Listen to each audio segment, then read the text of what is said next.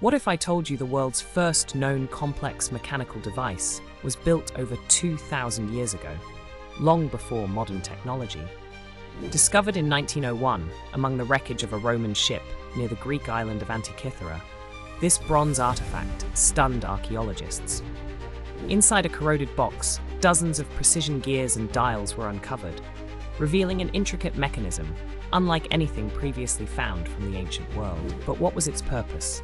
Through decades of research and advanced imaging techniques, experts finally realized its true function.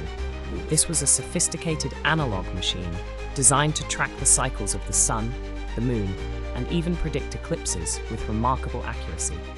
The device could display the position of celestial bodies and mark significant events in the ancient Greek calendar, including the timing of the Olympic Games.